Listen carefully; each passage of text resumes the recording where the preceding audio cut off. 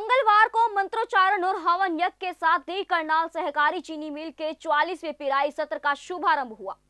विधायक हरविंदर कल्याण राम कुमार कश्यप, धर्मपाल गोंदर, उपायुक्त एवं मिल चेयरमैन विनय प्रताप सिंह तथा प्रबंधक निदेशक डॉक्टर सुशील कुमार मलिक ने हवन यज्ञ में पूर्ण आहुति डाल तथा मिल में गन्ना डालकर विधिवत रूप से पराई सत्र का शुभारंभ किया। इस मौके पर तीनों विधायकों की मौजूदगी में चीनी मिल के निवनीकरण कार्य के लिए कंपनी प्रतिनिधियों और मिल प्रशासन ने एग्रीमेंट पर हस्ताक्षर किए। निवनीकरण का यह कार्य दो करोड़ रुपए की लागत से पूरा किया जाएगा और इसे 11 महीने की अवधि में पूरा कर लिया जाएगा। विधायक हरविंदर कल्याण ने उपस्थित किसानों और कर्मचारियों को पिराई सत्र तथा मिल के निवनीकरण कार्य की मुबारकबाद दी।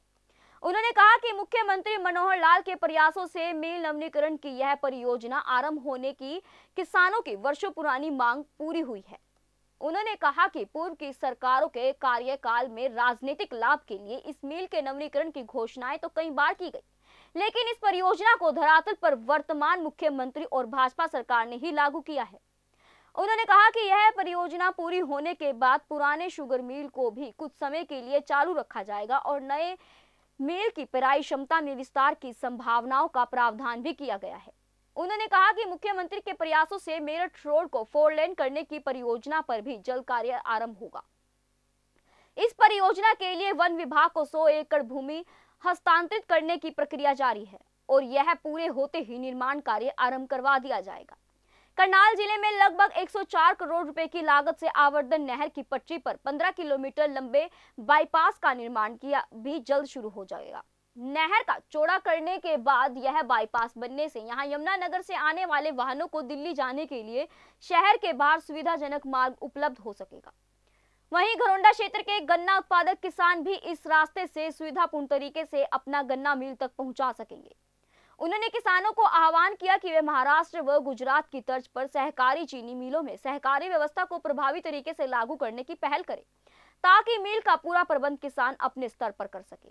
उन्होंने कहा कि सहकारी व्यवस्था के अध्ययन से इच्छुक किसानों को महाराष्ट्र और गुजरात के भ्रमण की व्यवस्था भी सरकार द्वारा करवाई जाएगी। करनाल वासी और पूरे हरियाणा के लिए बड़ा खुशी का दिन है कि आज चीनी मिल का चौवालीसवा प्राइस सत्तर का मुहूर्त किया गया और ये हमारे विधायक श्री हरविंदर कल्याण जी के प्रयास से माननीय मुख्यमंत्री जी ने हर समय पर यहाँ बड़ी बड़ी सौगात देने का जो काम किया है, उसमें एक शुगर मिल हुए और ये हमारे पूरे ज़िले के लिए एक उन्नति का किसानों के लिए उन्नति का अवसर है।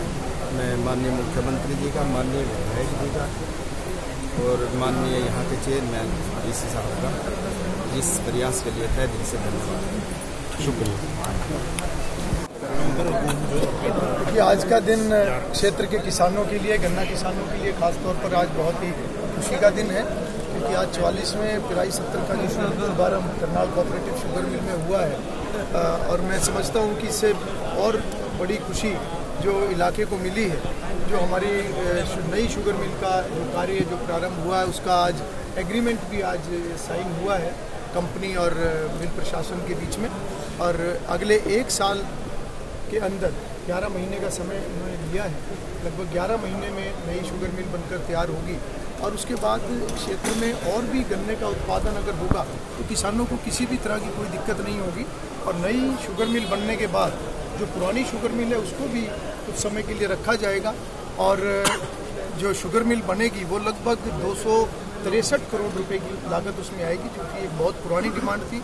और मुख्यमंत्री मनोहर लाल जी ने इस डिमांड को पूरा करके पूरे क्षेत्र के ऊपर एक के लिए एक बहुत अच्छा कार्य किया सर शुगर मिल के साथ साथ एक मेरठ रोड को भी फोर लेन किए जाने की बात उन्होंने कही थी तीन साल हो चुके हैं। दस दिन में पिछले दस दिन में दो मौतें हो चुकी हैं बाइक सवारों की। देखिए जो मेरठ रोड का जो फोर लेन है उसका अभी फॉरेस्ट क्लियरेंस की अभी उसमें अड़चन है और आने वाले समय में जल्दी उसको पूरा किया जाएगा क्योंकि उसमें फॉरेस्ट विभाग को लगभग 100 एकड़ ज़मीन सरकार ने देनी है और सर उस ज़मीन का इंतज़ाम अभी किया जा रहा है और जल्दी वो ज़मीन उपलब्ध होते ही जो प्रक्रिया अभी हमारी शुरू है मुझे उम्मीद है कि अगले एक महीने के अंदर इस कार्य को पूरा करके और सरकार के पास ट्रांसफ़र के लिए भेजा जाएगा।